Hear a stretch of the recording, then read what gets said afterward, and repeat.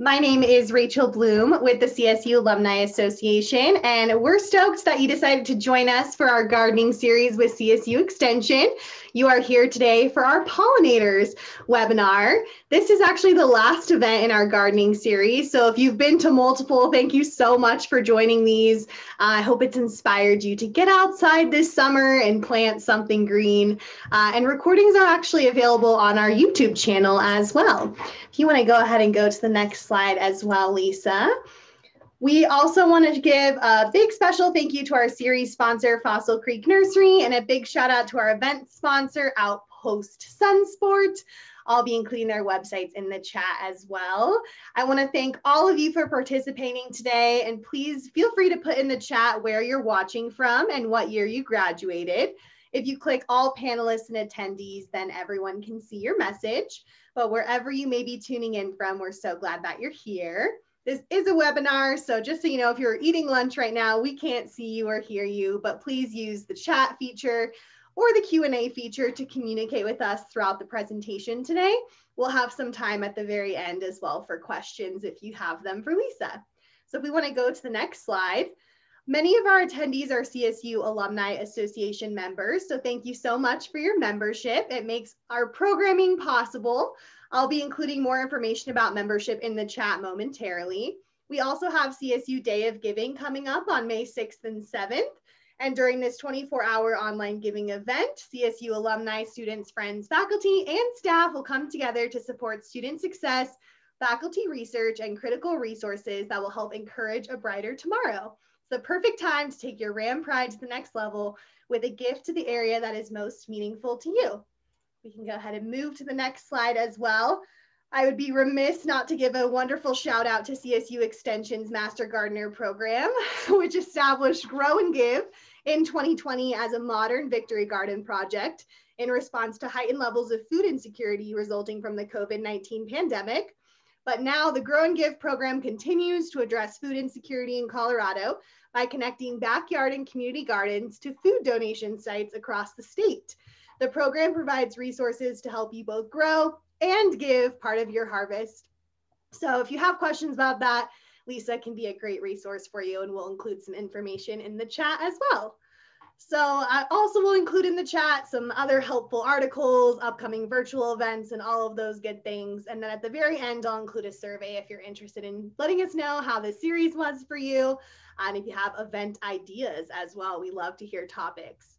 So you're not here to hear from me though. You're here to hear from our wonderful extension agent, Lisa Mason. I'm super excited to have her take it away and teach us a little bit more about pollinators. Lisa, thank you so much for being here with us. Oh, thank you so much for having me. I'm super stoked to be here.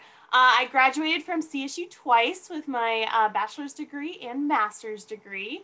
Um, I've also worked to, uh, for CSU since I graduated, and that is how I got interested in entomology, the study of insects. And I'll share a quick story with how I got to where I am. Uh, I had just graduated with my forestry degree in 2008, which was the height of the mountain pine beetle epidemic in Colorado, uh, where we lost 3 million acres of trees in our mountains. And so I was got a job with the Colorado State Forest Service, also a part of, of CSU. And I was teaching people about the mountain pine beetle epidemic and what to do about it. And, you know, the mountain pine beetle epidemic, it was devastating to us. We lost so many green trees. But what the, the interesting part about it was, was that was a native insect doing what it was supposed to do. They only killed really old, stressed out trees. And we had been suppressing fires for so long, our forests were pretty stressed out. And so learning about how the forest is doing what it's supposed to, that little tiny beetle the size of a grain of rice is doing what it was supposed to do, but it had such huge impacts on, on people in Colorado, on tourism, on our wood products industry. Uh, you know, the, the impacts were, were pretty enormous. So that got me interested in insects because they impact humans in, in our world so much, and most of the time we don't even realize it. So let's go ahead and get started. The more I started learning about insects, the more I realized pollinators, we depend on pollinators. And that's why we're here today. So uh, when I went, I pursued my master's in entomology and studied native bees and citizen science, which I will touch on in a little bit. And, and that, that brought me to where I am today. I work for CSU Extension now as the horticulture agent in Arapahoe County. So today we're going to talk about why pollinators are important uh, and who they are. We're also going to touch on wasps because there's a lot of confusion between wasps and bees and other pollinators. And then we're going to touch briefly on beekeeping and is that right for you? Uh, and then we're going to go into pollinator habitat and what you can do to support pollinators in your backyard. So thinking about big picture, why, why do we even care about insects? Well, E.O. Wilson, a famous biologist and naturalist, estimated that without insects, we would only be able to survive maybe a few months. Uh, they're that critical to, to our world. Uh, and you know, it actually goes beyond just pollinators too. And, and a great example that I always like to use are dung beetles. Dung beetles are a group of insects that are responsible for their decomposers. They, they recycle dung back into the soil. Without decomposing insects, like dung beetles, we would still have bison patties from when bison roamed the West. And, and that's really just the tip of the iceberg. Insects provide pest control. Uh, they provide control of invasive species. Uh, we get products from insects like honey and silk. Uh, in many countries, insects are a vital protein source, a, a food source. Um, not so much here in the United States, but, but insects the benefits just go on and on. But we know insects, pollinators included, are declining. Uh, urbanization and habitat loss is one of the major reasons. And so that is one thing that's sort of a silver lining with, with pollinator conservation is everybody can help with pollinator conservation because anyone, almost anyone can plant flowers and, and support pollinators that way. So why do we care? Why are they important to us? Well, pollinators are responsible for about pollinating one third of the world's crops. So that's about one in every three bites of food that you eat. Most of the time, it's our new most nutritious, uh, like fruits, veg fruits, vegetables, and nuts. But they're also responsible for, for other uh, food industries as well, like our meat and dairy industries, because cattle often feed on clover and alfalfa, and clover and alfalfa are pollinated by bees. So everything, everything is all connected. And then when we think about it from an ecosystem approach, about 75% of all plants in our world need pollinators to reproduce. And it goes beyond just the honeybee. So, so everyone's most familiar with the honeybee. That's one species of bee we have. Uh, but we have a lot of specialist relationships, and, and I'll highlight a couple of these, like the yucca plant and the yucca moths. Um, there are species of yucca moth that pollinate the yucca plant, and one cannot survive without the other. So you lose the yucca moth, we don't have yucca plants. Uh, they're very specialized in, in pollinating yuccas. Squash bees are another great example. Uh, if you appreciate pumpkin in squash, you definitely have to thank the squash bees. Uh, you plant them and they will come. They're by far the most efficient pollinators of pumpkins and squash. They're out in the early morning hours. I suggest you go look at the big yellow flowers and, and watch those bees visiting the flowers, um, buzzing around very quickly. Uh, honeybees will visit squash flowers, but you know, squash bees already have the pollination done by the honey by the time the honeybees even wake up. Um, cactus bees, we have some bees that specialize on cactus plants, and bumblebees. Bumblebees are responsible for something called buzz pollination. So when they land on a tomato plant, they have a special vibration that releases the pollen from the plant. And so they're great at uh, pollinating any of our veggies in the nightshade family, like tomatoes and peppers. Uh, they also can pollinate blueberries. And so what is pollination? Pollination is basically facilitating plant reproduction. Many plants are unable to reproduce without the assist assistance of a pollinator. So what happens is the bee visits the plant and the bees visiting for, for pollen and nectar. Uh, they don't realize the important job they're doing, uh, but they visit the bright colored flowers for the pollen and nectar And in the process, pollen grains are deposited on their hairy bodies. They, they stick to the hairs. And then the bee visits another flower. And in that process, transfers those pollen grains to the other flower and thus facilitating plant reproduction. This is a very high level of, of pollination, but it gives you the, the basics of what pollinators do. This is what happens when we don't have pollinators. Uh, we don't get the, the ripe fruits and veggies uh, that we are used to. And so I'm going to dive into a lot of bee content, but I do want to give a shout out to all our non-bee pollinators. So let's start with hummingbirds. Uh, a lot of birds are pollinators. In Colorado, we have hummingbirds that are our bird pollinators. You can see this female, she's got some pollen on her head there. Um, hummingbirds are common, uh, especially along the Front Range and, and on the, the west slope. Uh, we have about four species that you're likely to see. They are here. They have migrated back. So if you haven't put out your hummingbird feeder, now is the time to get it out. Uh, they are generally attracted to red flowers and those red flowers need to have a long funnel shaped uh, shape to them so the, the hummingbirds can access the nectar. Wasps. Now we have, wasps are one of the most diverse group of insects that we have. Um, most of them are not pollinators because they don't have the hairs on their bodies, but there are exceptions to every rule. So here in this photo is an example of pollen wasps that specifically feed on pollen and nectar. And you'll see pollen wasps uh, hanging out of penstemon flowers here in Colorado. Flies, we have a variety of flies that will visit flowers, and I'm going to touch on that here in a little bit. Um, flies that visit flowers often have two benefits. So not only can they be pollinators, but the, the larval form of flies will feed on pest insects like aphids and, and other things that we don't want in our gardens. So we love our flower visiting flies. Butterflies. Butterflies are a lovely visitor uh, to, to in your garden.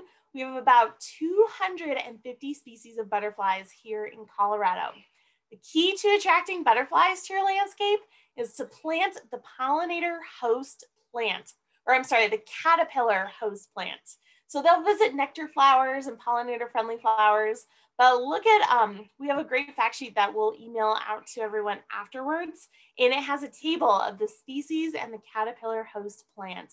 So that way the female can lay eggs on that plant and, and the caterpillars have a food source. Um, and in the picture here, uh, that's a monarch butterfly. So monarchs, uh, the caterpillars feed on milkweed. Beetles can also be pollinators. We see beetles visiting flowers uh, towards the end of the season, a lot on like rabbit brush and goldenrod. Um, beetles are going for, for food on those plants as well. Moths are also pollinators or can be pollinators. Here's my favorite pollinating moth in Colorado. That is called the white-lined sphinx moth. And it has a really long tongue. So it's gonna visit flowers that have long spurs. See those long spurs on the end of the columbine there? Um, so the white-lined sphinx moth looks a little bit like a hummingbird in flight. You'll see them in the early evenings a lot of times. Uh, they're often confused with the tomato hornworm.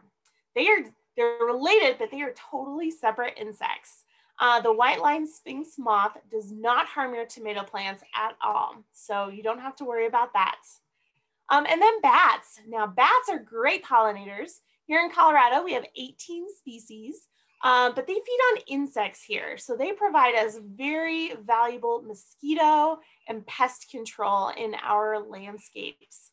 Um, but if you go a little bit further south where the climate is warmer and you appreciate a good margarita, um, you have bats to thank for that because bats pollinate agave flowers that and agave flowers are what they use to make tequila.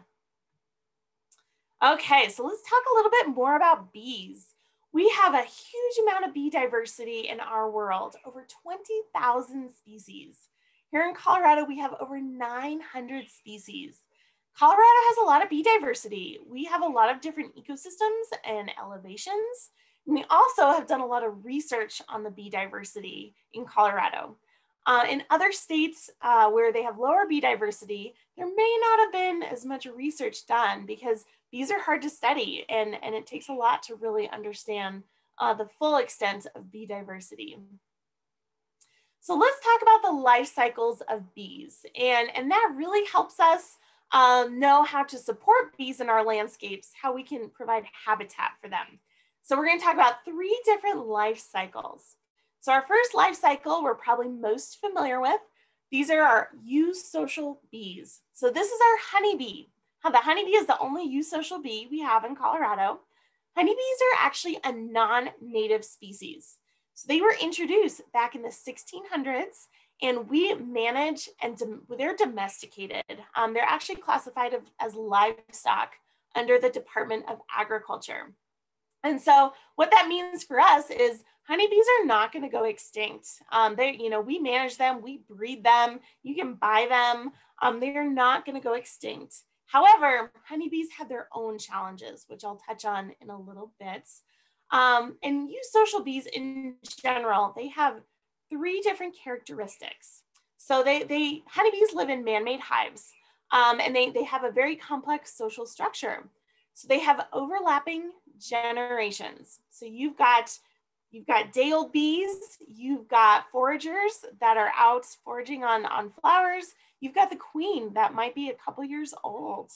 Um, you've got different generations all at the same time within the hive. You also have the reproductive division of labor, which means the queen, she is the only one that lays eggs, and the rest of the colony's job, their job is to protect that queen and keep her safe because she is key to the survival of the colony. And then cooperative brood care. Once bees, uh, honeybees reach a certain number of days old, uh, they are, their job is to tend to the baby bees. They feed them and care for them and rear them to become adult bees. So that's our social bees. So that's one end of the spectrum. And then you go all the way to the other end of the spectrum. We have our solitary bees. This is 90% of our bees are solitary. So solitary bees have a very different life cycle. Only lasts one year and they don't interact with any other bees. There's no queen, nothing like that. So solitary bees, the female will forage for pollen and nectar, and then she's gonna find a nest site, usually underground or in a cavity. And she's gonna pack that pollen and nectar into a tight ball, and she deposits one egg um, on the, the bee bread, is what we call it. So once she does that, she seals up her nest cell and then she's to do it again. And so she'll keep collecting that pollen and nectar and depositing one egg on the bee bread and sealing up that nest cell. So those little baby bees are going to overwinter like that. And then they will go through full metamorphosis. And then the following year, they will emerge from underground or from their cavity. So very different life cycle and we can help support our solitary bees. Of all of our solitary bees, 70% nest underground, 30% nest in cavities. So here's a picture of some underground bee nests. Most people, when they walk by that, they're gonna assume, um, you know, ants probably live there.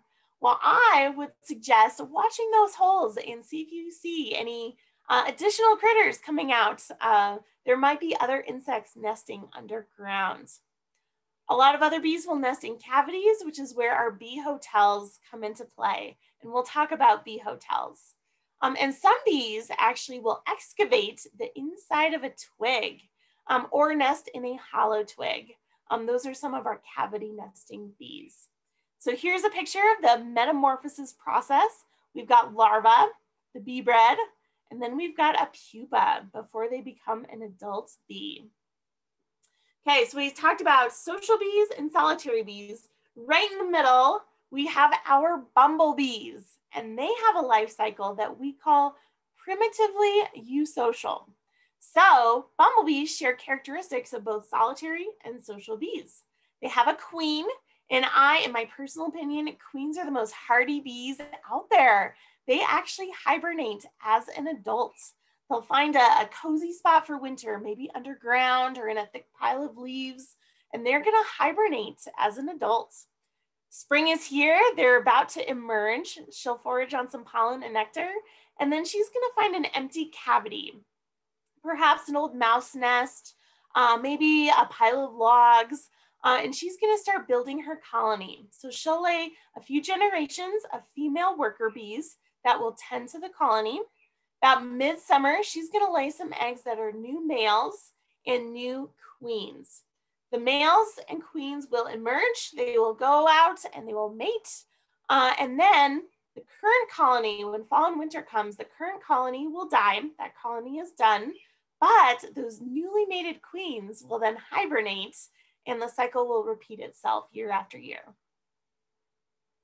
And so knowing our bee life cycles will help us support uh, bees in, in our backyards because we know what to look for and where they need to nest. But we'll come back to that.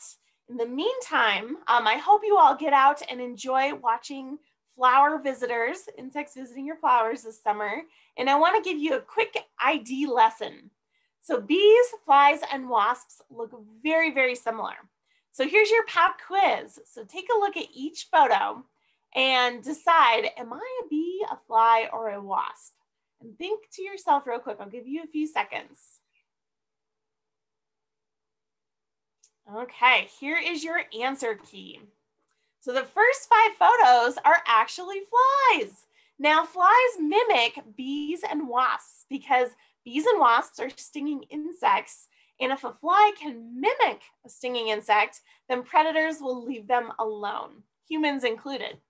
So these, um, oh, sorry, these five photos are flies. And then down here we have a wasp, and here we have a couple of bees. So let's talk about that. Let's talk about key characteristics to look for. So wasps, wasps have long, narrow bodies and they don't have hairs on their bodies or very few hairs. So they also have a constriction. It looks like someone went and pinched their abdomen. Uh, oftentimes that's, that's very pronounced in wasps. They have long curly antennae and they don't carry pollen like bees do. And here's how you tell a fly versus a bee. So flies have, we call them fly eyes. They have huge giant eyes that go to the top of their head. Uh, where bees and wasps, their eyes are on the sides of their head. Flies also have short, stubby antenna. So you won't see, if you see long antenna, you know it is not a fly. Um, and then they also have one, only one pair of wings, uh, which can sometimes be hard to view um, when they're visiting flowers. Most flies don't have hairs, but there are exceptions, and flies do not carry pollen. So bees, now bees are all a variety of shapes, sizes, and colors, but things you can look for. So most of the time, bees are gonna have hair on their bodies, on their head, their thorax, and their abdomen. Bees are also gonna carry pollen. Uh, they're gonna carry pollen one of two ways. They have pollen baskets on their hind legs. So you'll see a, a round ball of pollen and nectar on honeybees and bumblebees. All other bees have special pollen collecting hairs, which I'll show you a picture of in a minute. Um, bees also have long antennae, but they often have a bend in them where wasps and flies do not have that. So let's go back to our, our photos here. Look at these fly eyes in the first five photos. See those giant eyes um, that go, you know, pretty much to the top of their head. And you also, they have short stubby antenna. Wasps, this is a sand wasp uh, that you'll see foraging for nectar sometimes. Might look a little scary, but they're totally harmless um, unless you like try to pick it up or anything, or, you know, something, and then you, you could get stung. Um, but long, narrow bodies, long, narrow wings over their bodies, uh, and no pollen or anything like that. Now this right here is a bee. It kind of looks like a wasp, but notice she's got hairs on her bodies. She's got a bend in her antenna. And it's a little hard to see in this picture, but she has special pollen collecting hairs on the underside of her abdomen. And then this picture right here is sort of a trick question. This is a bee that looks like a wasp. And that's because it's called a cuckoo bee. Cuckoo bee are parasitic bees that will actually outcompete uh, their, their native bee host. So just like the cuckoo bird, a cuckoo bee will lay her eggs in another bee's nest, and those eggs will outcompete the host bee. So this really dives into to bee identification, which we don't have time to go into today, but I just wanted to give you an idea of the diversity of insects that we have. And here's some more pictures of bees that are found in Colorado. So this top left corner, this little bee is in a bindweed flower. And so she's very tiny. She's got special pollen collecting hairs on her hind legs right here. All the way, so tiny little bees, all the way to queen bumblebees that can be upwards of about one inch long. Here right, we have a, a sunflower bee. She's got really thick pollen collecting hairs on her hind legs. So when you see her on a coneflower, for instance, her legs are probably gonna be bright yellow. It'll look like she's wearing leg warmers. So when you're observing insects visiting your flowers, look at how they're carrying pollen. Look and see if it's a bee or a fly or a wasp. So let's talk about safety and stings. And these next few slides, I get so many questions on, I decided to add this to, to the pollinator contents because um, I do think it's really important for, for everyone to understand. So everyone says, ow, I was stung by a bee. Well, in all reality, you were probably stung by a Western yellow jacket wasp. So 90% of stings are actually yellow jackets. Um, and they can sting you over and over again too if they feel provoked. Um, so honeybees, on the other hand, don't want to sting you. They will die after they sting you. So stinging is really their last resort. Um, so they have to be provoked or really stepped on um, to be able, you know, if they're gonna sting you. So native bees and our solitary wasps, they cannot or very rarely sting. So our native bees and solitary wasps, you would really have to like pick them up to get stung or you they would have to be pressed up against your skin to get stung. Um, they, they avoid humans, they don't want anything to do with us and are very low risk for stings. So when we think about creating pollinator habitat and planting pollen or planting flowers, um, the increase for stings is actually very minimal because planting flowers does not increase your yellow jacket population. Yellow jackets feed on human food sources and um, meat sources like, like carrion. So planting pollinator habitat, um, very low risk. The only thing you might want to keep in mind is if, you know, if you have children and um, playgrounds and, you know, you may want to plant them far away, you know, from where kids are playing, for instance. Okay, so since we brought yellow jackets up, let's talk about them a little bit because they are a nuisance and bees often get all the blame for yellow jackets. So yellow jackets, they are a native insect. They are scavengers. So they, they're feeding on those, those dead meat sources and they, they are very attracted to human food sources. Picnics, barbecues, trash cans are, are perfect for attracting yellow jackets. And so they become a nuisance. Um, they nest underground. So the nests are hard to find. And if you happen to come across a nest, be very careful because uh, if they feel their nest is threatened, they may become very aggressive. So if you come across a nest and it is close to too close to human activity, you might actually consider calling a professional um, because if you try to put wasp spray or anything in that nest, their nest is underground and protected.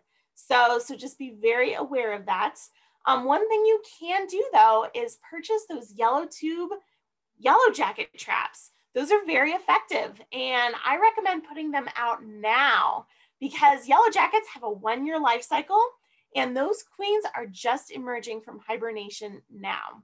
So if you put the traps out now, you may capture the queens versus you wait till July. Well, she already has a couple hundred individuals in her colony. Um, you know, there's a lot more yellow jackets at that point. And then we have the European paper wasp. This is another wasp that gets blamed, you know, on bees a lot. Um, paper wasps are, this insect is a non-native insect uh, and they're, they have a very strong populations, especially in urban areas. They're gonna build these papery nests under house eaves, in your garden shed, any dark protected location that they can find. These wasps are actually not very aggressive. So you might see them flying around and you generally don't have to worry unless they feel their nest is threatened. And if their nest is close to human activity, the chance of stings could uh, increase. So um, another thing to note is they feed on caterpillars. So they are not gonna be around your barbecue or anything like that. They are after those soft bodied caterpillars. So there are options for nest removal if you choose to use wasp sprays or anything like that. Be sure to follow the label. The label is the law, and you certainly don't want, you know, pesticide drift or anything like that. Um, paper wasps also have a one-year life cycle. So once fall and winter comes, the col current colony will die, and it'll only be the new new mated queens that will hibernate over winter. So they never return to the same nest twice. And then we have a vast diversity of solitary wasps. And this is a whole nother presentation, um, but we like our, our solitary wasps. They feed on pest insects like crickets and soft-bodied caterpillars and flies. We need our solitary wasps and we often don't see them or notice them, but they have a very important role in, in our ecosystem. So here's some of the diversity. These were photos I've taken in my garden uh, over the last couple years. And we love our bee hotels, but occasionally you might have a solitary nesting wasp in your bee hotel. No need to panic. These wasps are not aggressive. Again, they would have to be really pressed up against your skin or you would have to pick them up to get stung by one. Uh, and, and really they're, they're doing us a service in our garden. So if you find a solitary wasp in your bee hotel, I suggest watch it and observe because um, it's, it's a fascinating, fascinating life cycle. Um, some of these wasps will hunt spiders, um, crickets, and caterpillars. Okay, so let's talk about uh, one way that people will support honeybees, and that is beekeeping. So a lot of people say, you know, I want to support the bees. How do I become a beekeeper? Well, let's talk about that. And, and that way you can decide if beekeeping is the right decision for you. So kind of a fun fact, it takes 12 bees their entire lives to make one teaspoon of honey. Those are hardworking bees for that one teaspoon of honey. So make sure you appreciate your honey a little bit more. Um, beekeeping can be a very rewarding and educational uh, experience. They honeybees provide us a lot of pollination services. They pollinate crops um, and they pollinate a lot of our crops very efficiently. But beekeeping is a time commitment. Um, right now it's springtime, so beekeepers are feeding their bees a sugar syrup to help support them while, you know, because there aren't too many flowers that are blooming yet. And so, you know, my, my bees last summer went, or last spring, went through a gallon of sugar syrup every four days. So we were in the hive about every four days feeding them sugar syrup. Um, and you also have to do hive inspections and mite checks and mite treatments. Um, so, so it is a hefty time commitment. Uh, and it can be upwards of anywhere from 500 to $1,000 just to get started. Some of those, it's a one-time cost, um, but if you lose your bees or anything, you know, there will be reoccurring costs. Um, there's a chance of stings when you're a beekeeper and beekeeping is just plain hard, um, especially in Colorado. We have extreme temperature fluctuations and honeybees also have pests and diseases that, that make it hard to, to beekeep. So if you're interested in exploring beekeeping, uh, check your local ordinances, um, be a good neighbor and educate your neighbors. Um, provide a water source. One of the most common questions I get about bees is I have a hot tub and there's all these bees drinking water out of my hot tub. What's up? And that's probably because their neighbors have a beehive and their hot tub is the closest water source. So provide water for your bees um, and do research because uh, beekeeping is a, there's a lot to learn uh, and it, there is a learning curve. So find a mentor, join a club, um, do a lot of reading and research. And can you just set up a hive and let it be? Well, honeybees are a non-native species. So we manage them. Um, so we cannot set it up and let, let it be because otherwise um, the, you know, the varroa mites are, are likely going to take over is, is the biggest challenge. So they do require ongoing maintenance. And, and if you don't keep up with that maintenance, you're actually harming other hives around you because those pests and diseases will spread.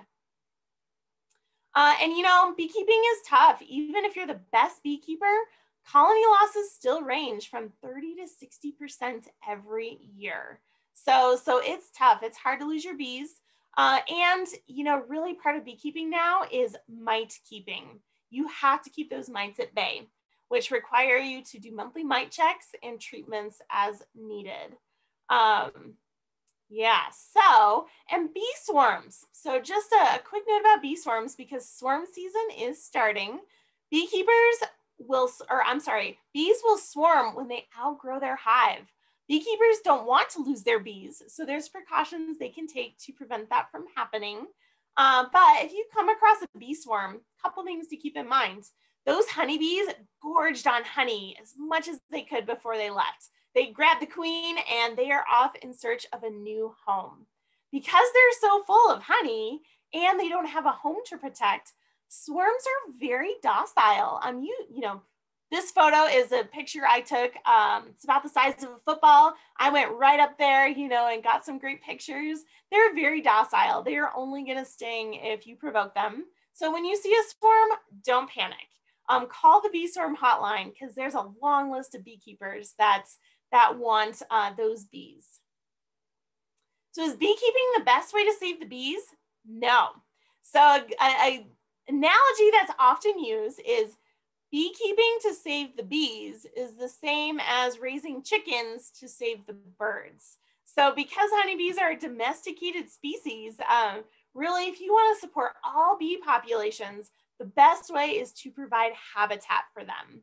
Uh, so really you, you beekeep to, for the, for the hobby, for, for the experience. Um, otherwise, you know, the best way to support all our local pollinator populations is to provide habitats.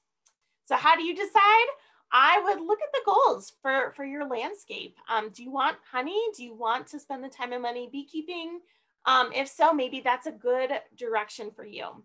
If you want to support all the pollinators, the native bees, butterflies, um, and other, other pollinators, your best bet is going to be to provide habitat spaces for them in your landscape.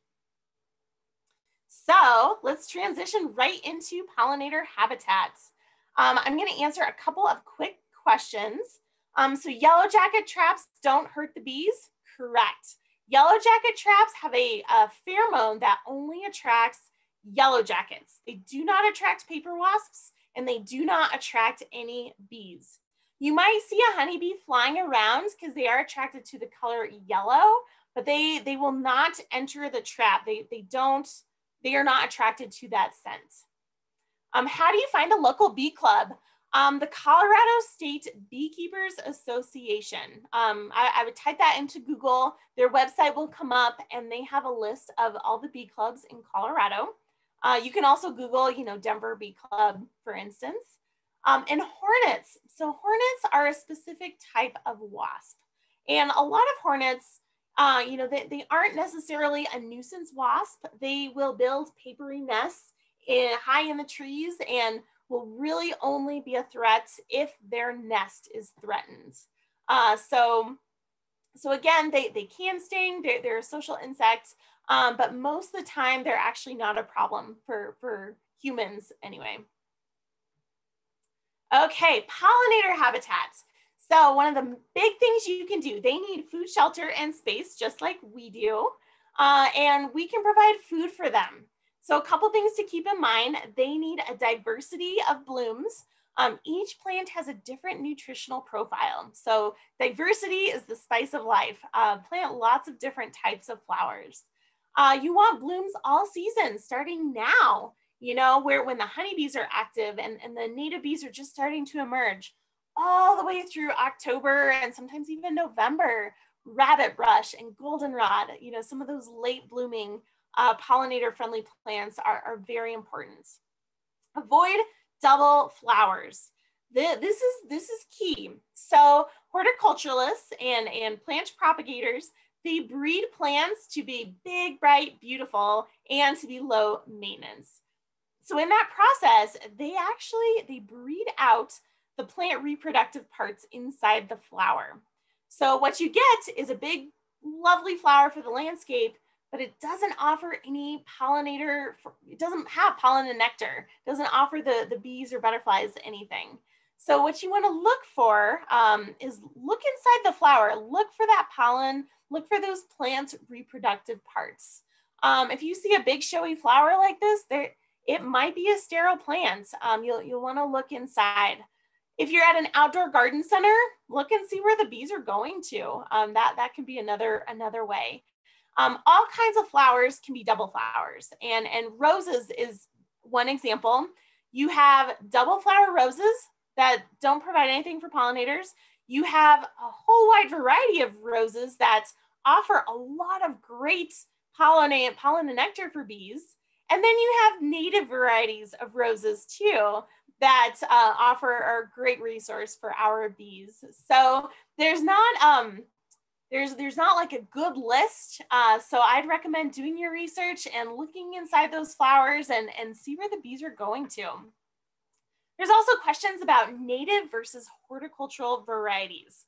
Here's what I'll say about that. Um, native flowers are awesome. They're, they're great for pollinators. They're often low water, which is great for your landscape. Um, they, they offer a variety of benefits. We know that for a fact. Horticultural varieties, there's a lot of great horticultural varieties that are great for bees too. Uh, we don't know if they offer, you know, the, the exact same benefits as native plants, but a lot of them do probably, and a lot of them don't. So, so again, it's going to be um, a little bit of research uh, to, to find um, the perfect plants for your landscape.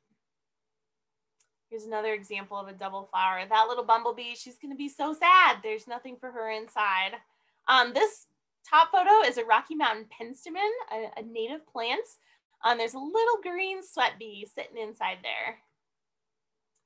Okay, so then we have plants pollinator syndromes. Now these are general guidelines you can use depending on the type of pollinator that you want to attract. So for instance, bees are attracted to bright white, yellow, blue, and purple flowers. Now again, double flowers aren't gonna count. Uh, so, but, but generally speaking, uh, the, these can be useful guidelines. Birds are going to be attracted to scarlet and orange and red colored flowers like um, scarlet gilia is a, is a great native plant or hyssop can, uh, can uh, be good for hummingbirds.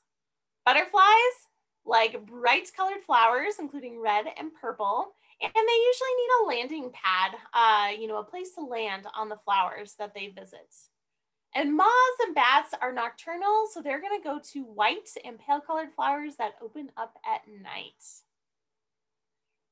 And so what do bees see? Do they see the same colors that we do? Short answer is they do not. They actually see um, colors on the UV spectrum. So a couple of examples, here's uh, what we see to a human and here's what the bee sees. So a green grassy area actually appears gray to a bee. So not attractive, not attractive to the bee.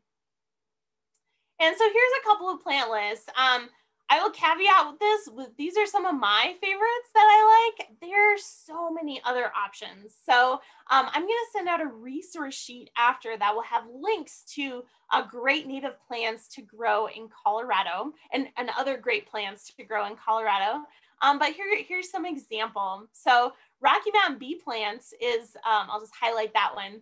Uh, that is actually not a perennial, it's, an annual that reseeds every year.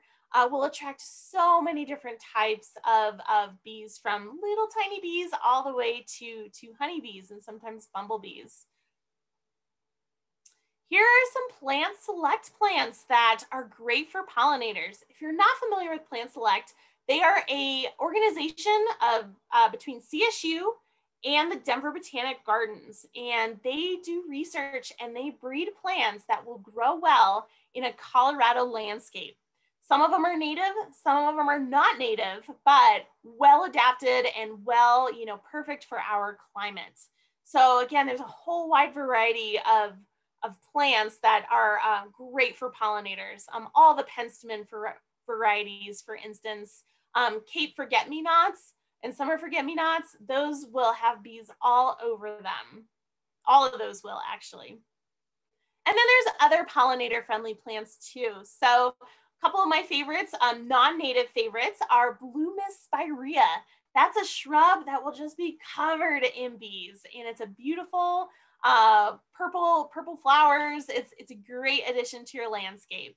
Um, and there's a variety of trees that will that are good for pollinators too. Um, if you have Japanese beetles in your area, I would avoid planting linden trees because the Japanese beetles love lindens. Um, and then another one that's not on here is moon carrot.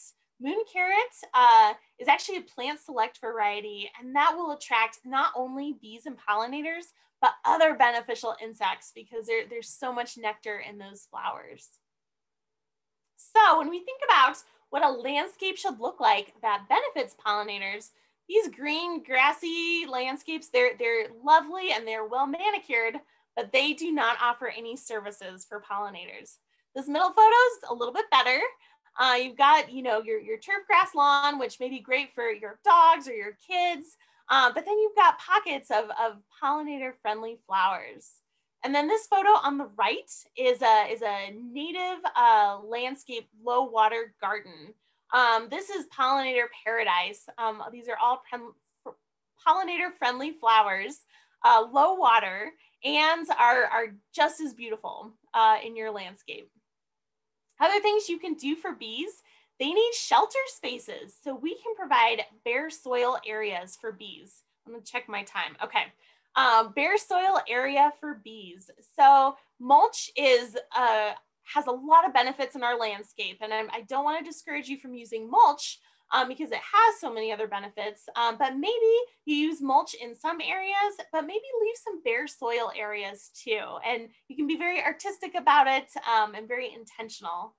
Um, consider reducing lawn areas. So lawns have a they have a great place for you know picnics and you have kids and dogs and and you know turf grass lawns can be very functional. But if you're not using those spaces to, to play on or to recreate on, maybe consider removing some of the turf and planting pollinator friendly plants instead.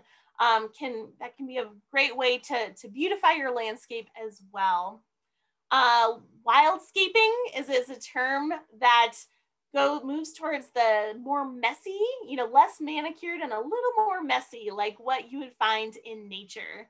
Um, that can that can be a great option. Uh, a lot of plants have hollow stems.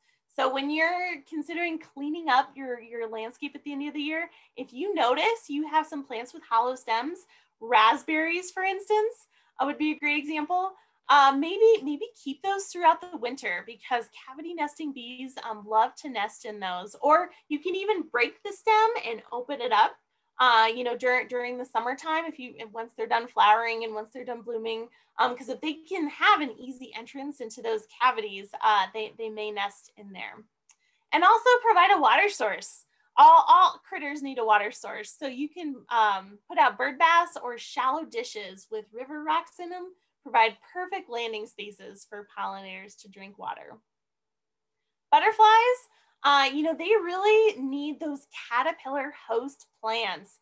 And I, I want to make a pitch for, for this butterfly right here. This is the two-tailed swallowtail. One of the most common butterflies, the big yellow butterflies we see, especially in our urban areas. Well, they host on ash trees, ash trees and choke, cher choke cherries. Uh, and if, if you're familiar with the emerald ash borer, over over time, you know, we're, we're not going to have as many ash trees available uh, because of the emerald ash borer. So maybe consider planting a choke cherry. Choke cherries are native, uh, they're beautiful, and uh, provide wildlife too, uh, a food source, in addition to being a host plant for, for the two-tailed swallowtail. Um, butterflies, they like sunny open areas, but they also need places to shelter from the wind. So having a wide variety, again, of flowers, of shrubs, of trees, um, places that they can rest. And here's a quick side note. Um, I, you know, each, each butterfly has its own host plant and we had a, last year was a great year for the variegated fritillary butterflies, these orange butterflies right here. Well, I got a call at the extension office and someone, you know, these caterpillars were munching on the pansies and petunias in this person's landscape and, and they did not want them. So I asked him, I was like, can I have your caterpillars? because I knew they were the, the variegated fritillary. So we, he gave me the caterpillars and I bought some pansies for them, put them in a butterfly house, um, buy them on Amazon. And they had this beautiful metallic cocoon uh, and then they emerged and I released them afterwards. So Uh, you know, everything's about a matter of perspective. Um, I certainly didn't mind sacrificing a few pansies uh, for, for these butterflies, but you know, flowers are expensive too. So, so it's all a matter of perspective. Uh, hummingbirds need, again, that red orange water. They also need a variety of trees and shrubs to, to shelter and nest in. And you may see them visit um, shallow water dishes as well. Um, and then hummingbird feeders are, are a great way to attract hummingbirds. Bee hotels. Um, so I'm running short on time, so I'm not going to dive into too deep here. What I will say is, is there's some basic requirements for bee hotels, like to have a back at the at the end of the bee hotel. Um, it can't be just an open tube. Um, tubes need to be at least six inches long because otherwise the female is going to lay a disproportionate number of male and female eggs. Um, so, so there's some basic requirements, no plastic straws. Um, there, there are uh, some great university extension fact sheets that we'll email out that provides, you know, the basics of, of how to make a bee hotel. Um, but you can be very creative and very artistic. This, this is one uh, here in Littleton. And, and the other caveat to that is just like anything else, bee hotels do need maintenance, easy maintenance. You know, they're, they're, it's not hard, uh, but you do have to replace them every year. Um, if you have tubes, you need to replace the tubes. If you use a wood block, you do need to replace the wood block. Because what we're finding is, you know, bee hotels over time will harbor fungus, mold, pathogens, pollen mites, and then that does the bees more harm than good. So this is a great fact sheet here in the right corner um, from Michigan State University. Outlines everything you need to know about bee hotels. Here's a couple of bee hotels that I made uh, for this spring. Uh, different types of bees will nest in different diameter holes. So, so keep that mind in mind as well. And if you do have bee hotels, you may attract leaf cutter bees, which uh, are the females will cut out a circle shaped leaf and they, she rolls it up and she carries it back to her nest. I actually have a leaf cutter bee nesting in between patio stones right now. And it was so much fun to watch her go back and forth um, with her leaf pieces. Keep in mind, they are not damaging your plants with this. It is purely aesthetics only, uh, and so you don't have to worry. Uh, leaf cutter bee damage is often confused with root weevil damage. Notice how these are notches, not round holes. So if you have questions about that, call your local extension office. We'd be happy to help assist you with that. Um, if you're interested in learning more about uh, just wildlife and pollinator friendly maintenance, my colleague, um, who's the hort agent in Douglas, or I'm sorry, Boulder County, um, she and her team are working on habitat friendly maintenance guidelines. So easy steps that HOAs, that cities, that homeowners can take to, um, to reduce the impacts on pollinators. So things like waiting to prune your shrubs until after they flower or after, you know, bird nesting season. Little tips like that that are people don't often know about them, but can go a long way into, into to increasing uh, the space to be more habitat friendly. And I wanna make a pitch for my citizen science program out of CSU Extension. Uh, we train you to identify um, bees and, and differentiate them from flies and wasps. And you can observe flowers in your backyard and record the data and, and submit it. So we'll be doing trainings in late May. Um, you can volunteer as little or as often as you would like. Um, we would love to have your, your input. So here's the website for more information. Again, we'll send this out. Um, trainings will be in late May and we would love to have you contribute to this statewide database that we are building. And if you want to keep learning, here's some of the resources that will be sent out afterwards. Um, some great CSU extension fact sheets, and also this is the Citizen Science Field Guide on bees. So even if you choose not to participate in the citizen science program, this is a, a publication you can download and it'll teach you a lot about our native bees. Here are a couple of my favorite books. Um, Bees in Your Backyard uh, tells you, oh, so much, just a wealth of information on our native bees. And then this is a great book, Attracting Native Pollinators for, for Creating Habitats. We are Colorado State University Extension. If you're not familiar with us, we have an office in almost every county. And so in terms of horticultural services, we offer diagnostics, do you have a sick tree? Is your lawn dry? Do you have gardening questions? Um, do you have a weird bug in your house that you need identified?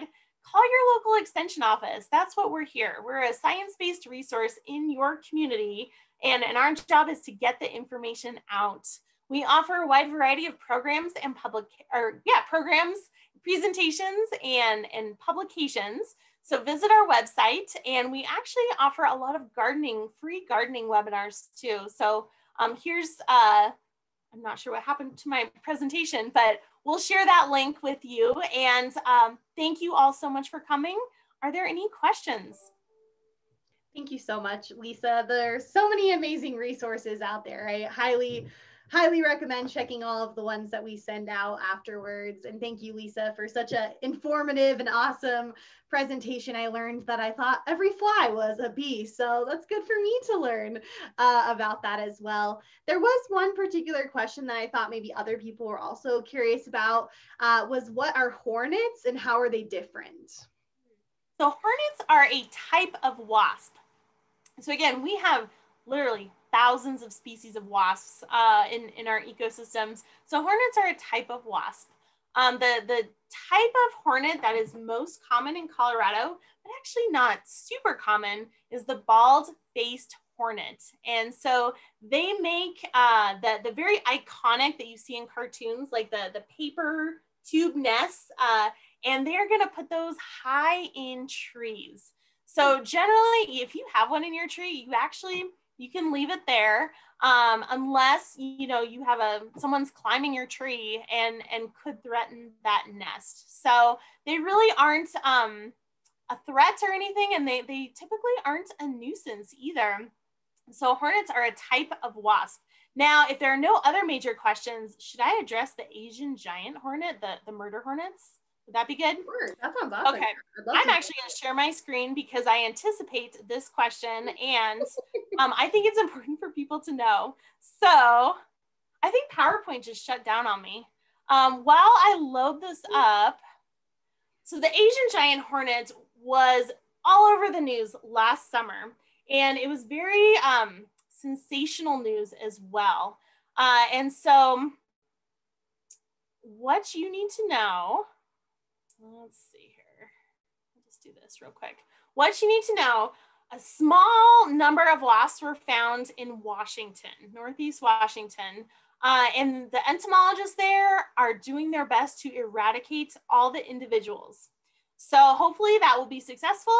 Um, but the Asian giant hornet is not in Colorado and it is not coming to Colorado either.